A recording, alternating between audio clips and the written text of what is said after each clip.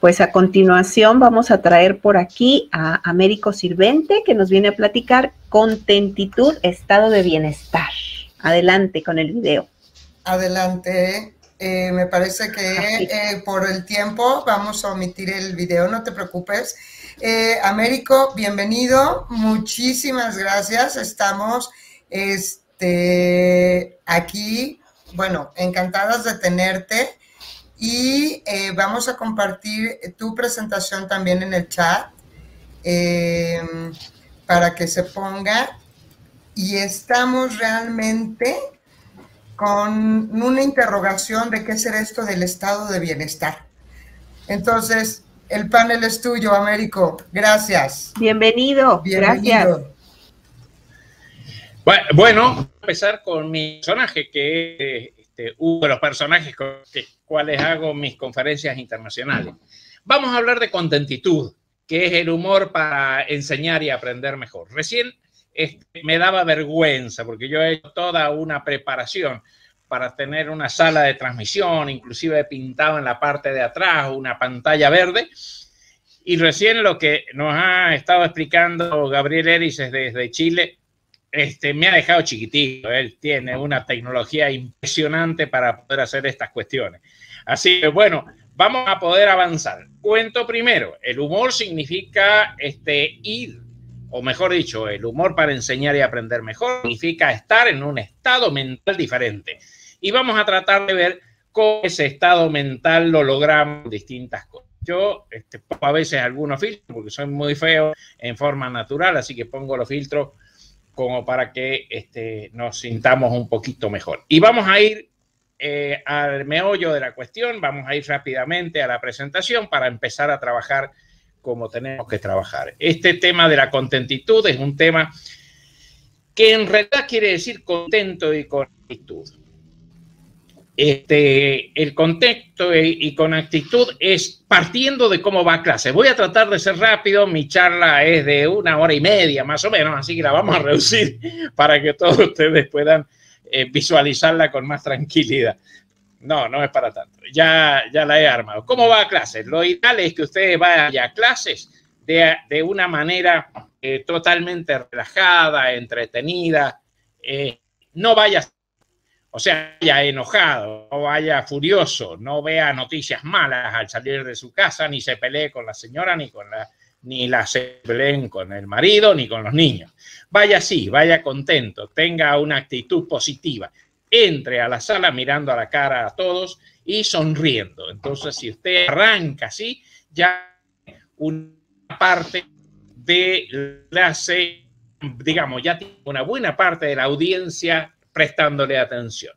El humor para aprender y enseñar mejor, ¿qué quiere decir contentitud? Contento y con actitud. Es el estado de bienestar en el aula, los materiales y la vida y vamos a ver qué significa ciertas cuestiones que nos suceden en el cerebro si yo estoy contento. La palabra contentitud la robé porque vi alguna de gente que iba hacia eh, que, venía de yoga y decía qué contentitud. Entonces me pareció excelente la palabra y desde ahí la estoy usando. Muy bien. El primer ejercicio es lograr el estado de, bienestar mediante la relajación. Y el ejercicio es a través de un video que les voy a colocar para que luego ustedes lo vean. Pero se los explico para que entiendan cómo es que arranco una conferencia. Este, en el video está mostrado en un minuto y medio, en dos minutos, pero es más o menos así. Yo llego a la sala, los hago colocar a todos de pie y les digo que empiecen a relajarse, entonces que levanten los brazos y que empiecen a estirar el cuerpo. Y mientras eso lo están haciendo, aparece de fondo un tema, ahora estoy usando el despacito, que tiene la virtud de que si usted empieza a moverse al ritmo de despacito antes del minuto, usted está bailando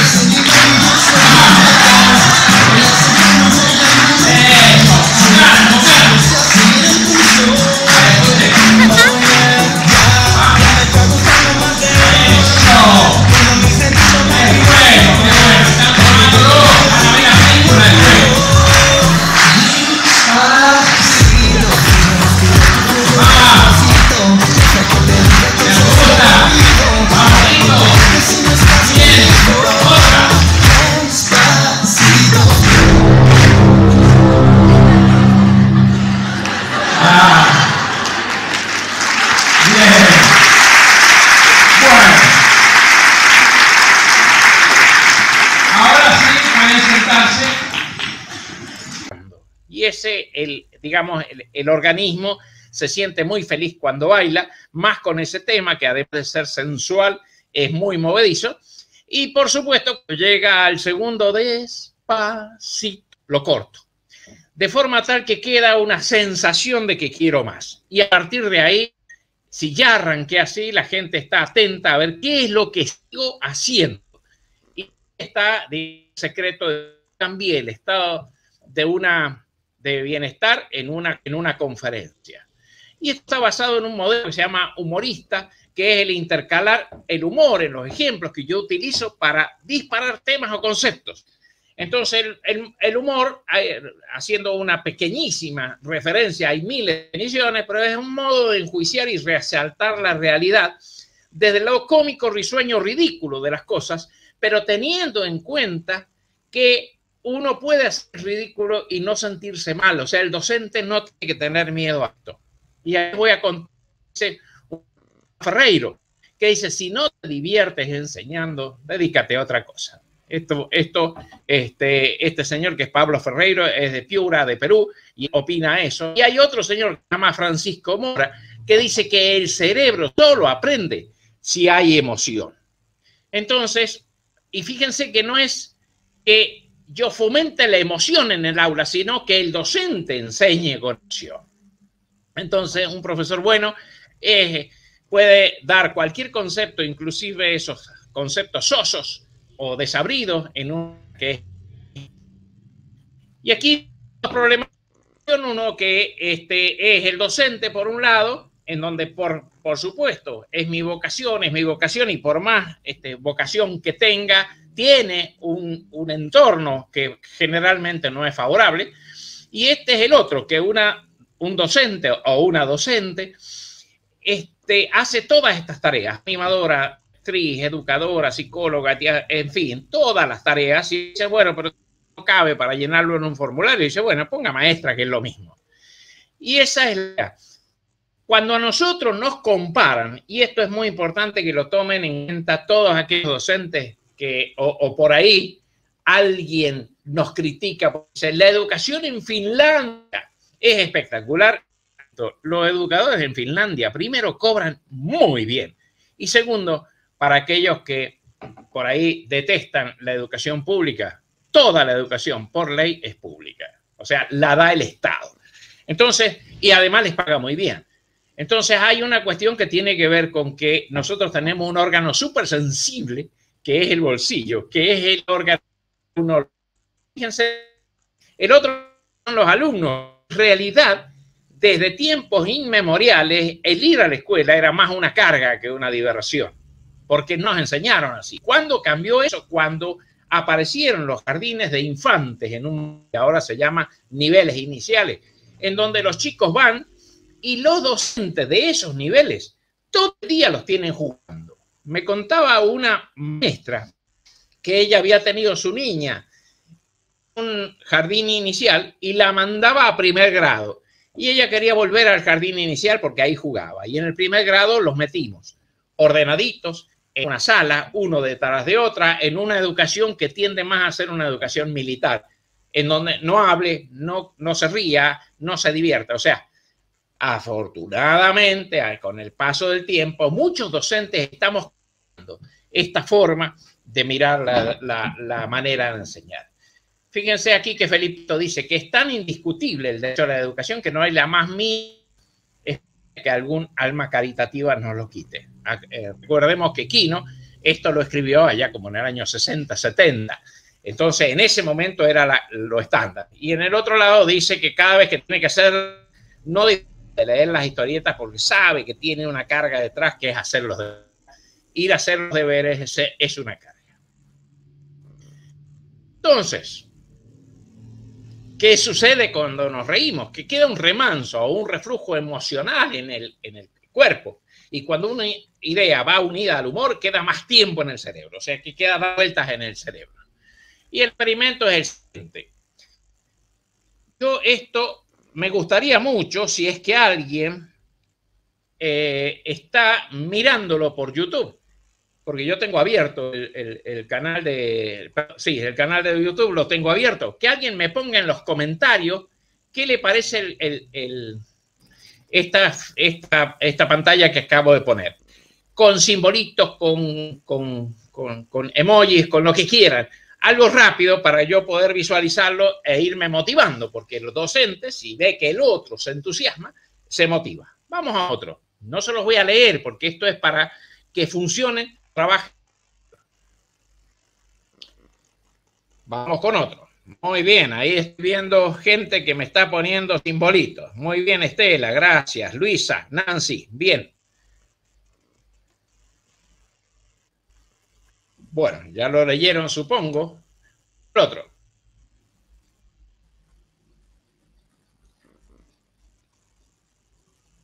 Muy bien, ahí están apareciendo más simbolitos. Gracias, gracias. Luisa, Cifrido, Silvana, muy bien, María. Bien, qué bueno, qué bueno, qué bueno. María Martínez, Susana, Beatriz, Leili, Lady, Adriana, en fin, todos los que me están poniendo cositas ahí se están divirtiendo con lo que estamos haciendo. Esa es la idea. Ahora les voy a contar qué es lo que está pasando en su cerebro. Miren otro. Este sí se lo voy a leer. Y les voy a dar de pista que esto se puede utilizar cuando yo estoy tratando de preguntarle a los chicos si entendió. Si haciendo una proyección puede poner esta viñeta. El que haya entendido que levante la mano y dice, veamos Manolito, ¿qué nos ha entendido desde marzo hasta ahora? Nada. Y esto sirve para romper el hielo y hacer que el alumno se anime a decir que no entiende. Otro. Y aquí, ¿por qué tienen que ir a los chicos? Dichosas las moscas que no tienen que ir a la escuela. Me gustaría. Mosca, dice, y hablar libre y no tener que repasar las tablas de multiplicar, ni aguantar a la maestra, ni. ¡Pah! Y ahí quedó la mosca. 3 por 1, 3, 3 por 6, 3 por 3, 9. Esto quiere decir que entendió rápidamente por qué tenía que estudiar. Y usted puede decirle, mire, es que si usted no estudia, la misma sociedad lo va a aplastar. Esa es una manera muy simpática de decirles por qué tiene que estudiar. Ahora, ¿qué pasa en su cerebro? Bien, si es hombre, ocurre unas cosas y si es mujer, ocurren otras. Como yo les voy a compartir un video que no tenemos tiempo de pasarse por aquí, le pido que luego lo mire y como tienen el vínculo a este presi, luego ustedes lo insertan. De todas maneras, esta conferencia yo la voy a, este, yo la voy a, a editar y le voy a insertar los, los, los, los videos.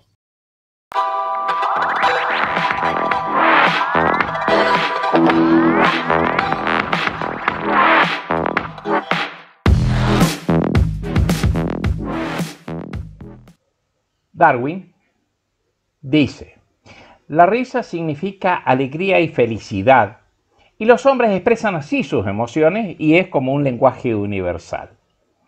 Los niños sonríen naturalmente y suponemos que por contagio... Ah.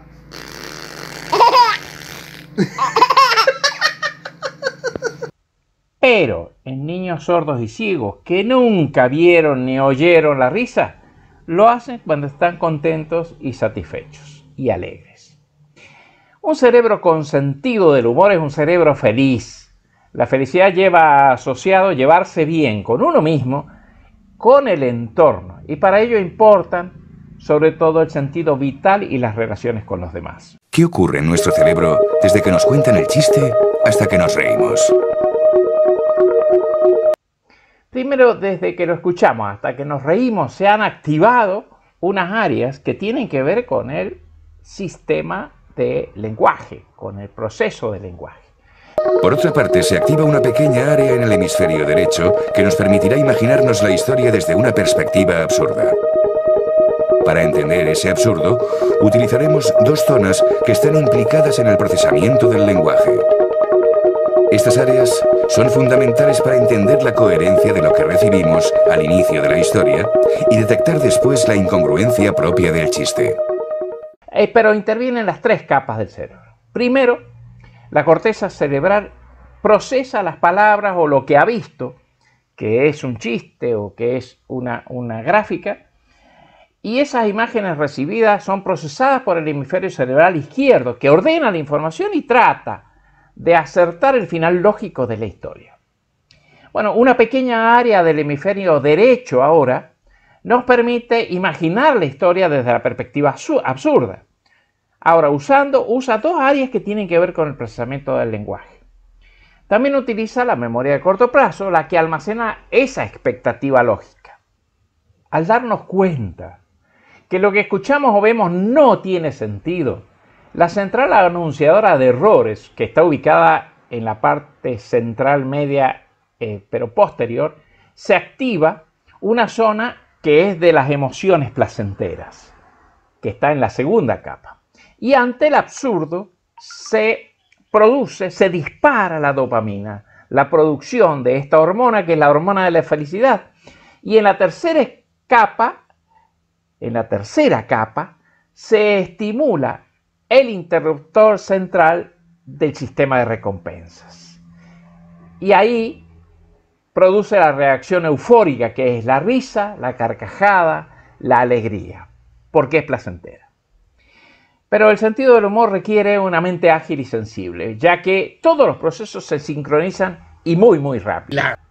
Entonces, el humor genera lo que nosotros le llamamos estado de bienestar y el estado de bienestar beneficia el aprendizaje.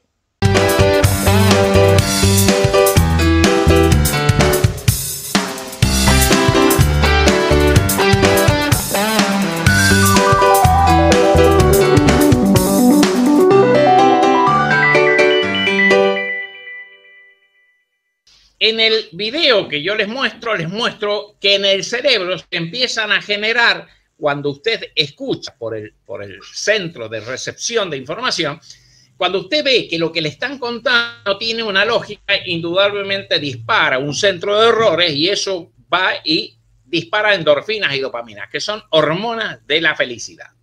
Esas hormonas, al trabajar sobre, sobre los centros de placer, hacen que usted, todo su cuerpo y todo su estado sea mejor y todo lo que está escuchando se le queda mejor. Las cosas lindas siempre quedan más tiempo. Pero además se le disminuye el cortisol y el estrés. Entonces, al bajar esto, fíjense que cortisol y estrés son los que reducen la vida. Entonces, yo a todo el mundo le digo que si ha estado en mi conferencia, por lo menos le ha aumentado la vida unos cinco minutos. Entonces, este es mucho mejor, baja el cortisol y el estrés. Después, a ver en este he puesto a cuestiones. Fíjense, algunos químicos, o mejor dicho, algunas eh, hormonas se generan en el, en el sistema. Y creo que, ¿cómo se pueden lograr además de este con el humor? La dopamina, si usted duerme bien, si celebra un logro o hace un ejercicio, la oxitocina, si medita, da un abrazo y es generoso. Fíjense qué importante que son los abrazos y qué importante que es dar. La serotonina, si usted es agradecido y agradece todos los días la vida que está viendo, cuando sale y disfruta de la naturaleza y cuando se es feliz. Y la endorfina es cuando baila, canta y ríe. ¿Sí? Acuérdense, ha dicho dopamina para que ustedes vean cómo las pueden conseguir por otro lado. ¿Qué beneficios tiene la risa?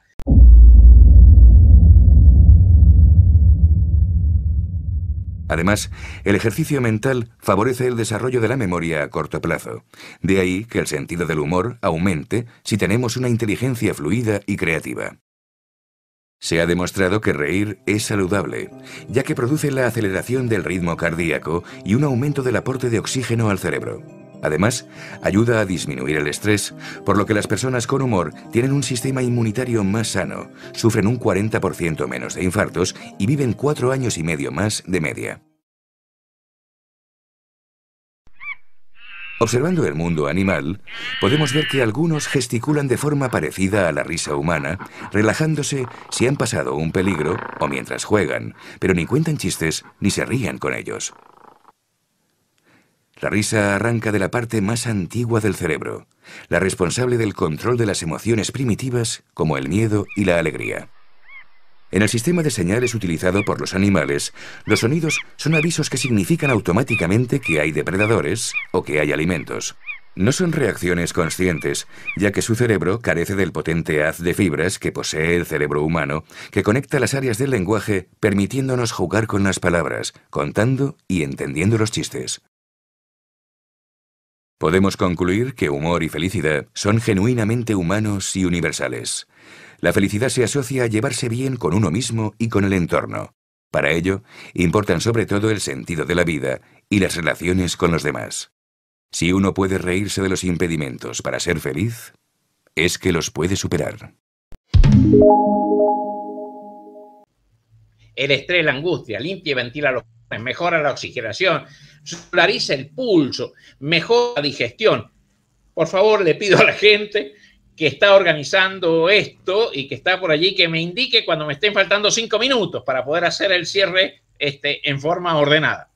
Relaja, baja la presión arterial, quema calorías, usa músculos, 400 músculos usa. Fíjense que para bajar de peso, más allá de que hay que cerrar la boca en cuanto a comer, lo que uno puede hacer es también mucho, ver películas que lo hagan reír, que lo hagan...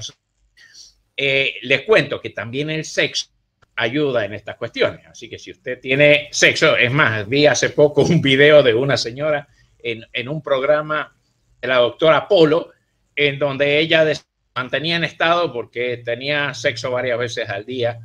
Este, yo eh, tiendo a creer que era con el marido, pero bueno, potencia la creatividad y la imaginación. Y por eso es que las grandes empresas y las instituciones lo que hacen es incorporar eh, eh, ustedes discúlpenme que ve cuando miro hacia un costado porque tengo el celular aquí estoy viendo lo que escribe. Eh, digamos, estas empresas han hecho de sus lugares de trabajo, entre ellas Google y Hewlett Packard y algunas empresas Facebook y demás, un lugar muy agradable en donde hay un montón de elementos que parecen distractores y no son distractores, porque todos los que trabajan con creatividad e imaginación tienen que ser en un muy buen estado. Si usted está enojado, es poco creativo. Y por supuesto, la salud. Si alguien no lo crea esto, vea la película de Patch Adam, ese médico que usaba el humor para este, eh, trabajar con personas enfermas. Bueno, el humor favorece la productividad. Esto lo dice eh, también una especialista, en donde dice que el humor asegura que los líderes con sentido del humor considerados un 27% más inspiradores. O sea, si usted quiere ser líder, sea divertido, sea este, entretenido. Un videito ahí que se llama El humor y la seducción.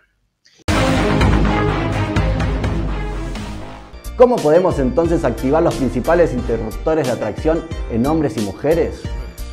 Por el lado de los hombres, poseer habilidades sociales sobresalientes, capacidad de liderazgo, conocimiento e inteligencia superiores al promedio pueden ser considerados atributos que otorgan estatus social, que es uno de los principales componentes del atractivo masculino. Si sos bueno en algo, si liderás alguna actividad, posees alguna habilidad o conocimiento en lo que te destaques, podés utilizarlo para generar atracción. Lo mismo puede decirse del sentido del humor y la capacidad de hacer reír a los demás. En un estudio publicado por Maurice Schweitzer de la Universidad de Pennsylvania y Alison Brooks de la Universidad de Harvard, se analizaron las relaciones entre el sentido del humor y el estatus laboral. Acorde a la investigación, el humor correctamente utilizado produce una buena impresión en el entorno laboral. Según Brooks, uno de los autores del estudio, si sos lo suficientemente valiente como para hacer una broma, independientemente de si esta tiene éxito o no, la gente te percibirá como alguien seguro y competente, además de poseedor de una gran inteligencia emocional. Este estudio nos permite comprender quizá por qué las mujeres valoran tanto el sentido del humor, porque es un gran indicador de alto estatus social. ¿Por qué el humor y la seducción? Porque resulta ser que eh, cuando a una mujer medianamente madura, si una mujer jovencita, es muy posible que lo que quiera es un hombre fornido, con buen cuerpo y todo lo demás. Pero cuando ya está siendo más madura, empieza a entender que eh, la seduce más un hombre que sea divertido, que la haga reír. Si usted le pregunta a una mujer bien formada, ¿qué quiere de un hombre? Dice que me haga reír, que la tenga entretenida, que la divierta.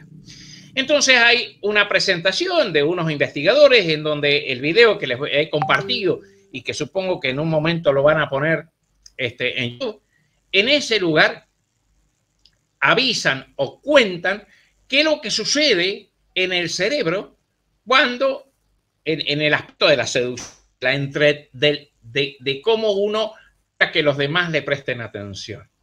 Yo siempre lo digo, le digo este, que afortunadamente la naturaleza nos equilibra. A algunos los hace lindos, los hace y a otros nos hace simpáticos. Entonces los simpáticos podemos, este, por eso es que los simpáticos podemos este, tener pareja, si no este, seríamos unos pobres tipos.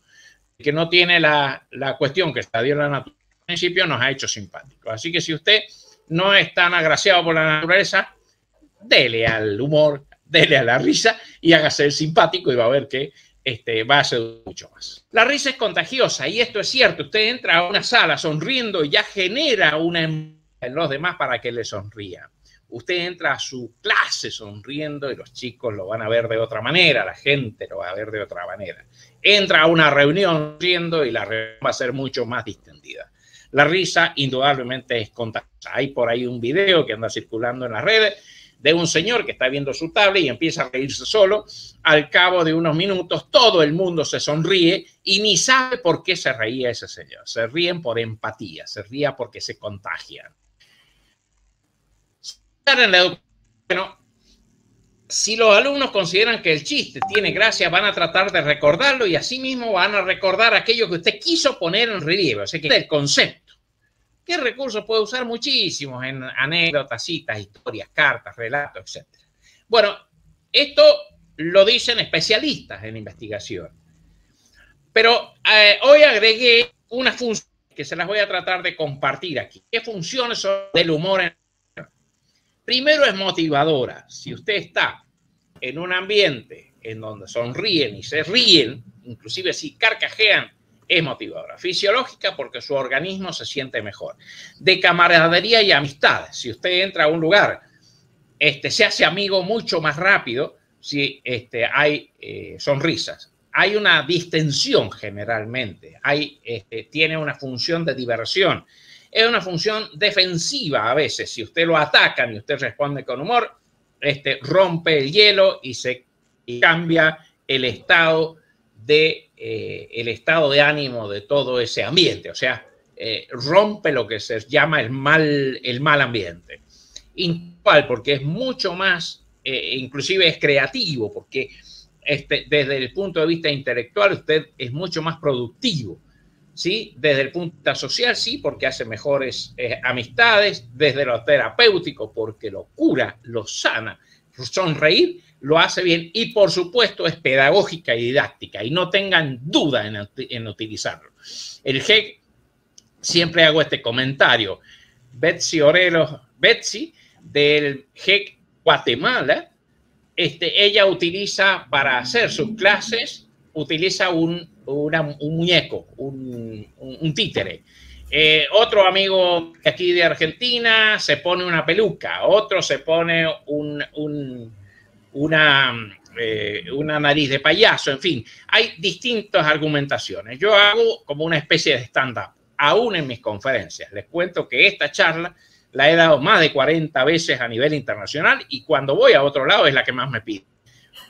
Que la hago de hacer el humor en familia. Esto, si quieren, capturen la pantalla. Voy a ir muy rápido para ir este, haciendo lo que debo hacer. Sí, gracias, Américo porque ya vamos a cerrar. Gracias. Ahí estamos, estamos en ese punto. La sonrisa es la línea curva que endereza todo. Por favor, le pido que me comuniquen, que me pongan el resto de los vínculos porque no los he visto. Ah, sí está, la constancia. Eh, bueno, les cuento, estos vínculos también se los voy a mandar a todo aquel, inclusive el vínculo del video de esta conferencia con todos los videos insertados, a todos aquellos que contesten esta, este, un, que, digamos, que pidan la constancia, para lo cual solamente me tienen que poner el nombre y el eh, correo electrónico. La sonrisa es la línea curva que lo endereza todo y es la distancia más corta entre dos personas. Si usted entra a un lugar sonriendo, ya rompió el hielo, ya puede hacer amistad con la gente. Ahora, fíjense que esto también lo uso mucho, que es cómo aprendemos los adultos y para hacerle el resumen, eh, uno aprende mucho más si quiere enseñar. El 95% aprendemos de lo que explicamos. Por eso, a medida que yo voy dando estas conferencias más veces, este, creo que, estoy mejorando porque voy agregándole componentes que me parecen que podrían hacer bien. Así que, y la bibliografía que les voy a sugerir, solamente pongan Google, humor y ya todo. ¿Y quién soy? Américo Sirvente, me busca así en las redes.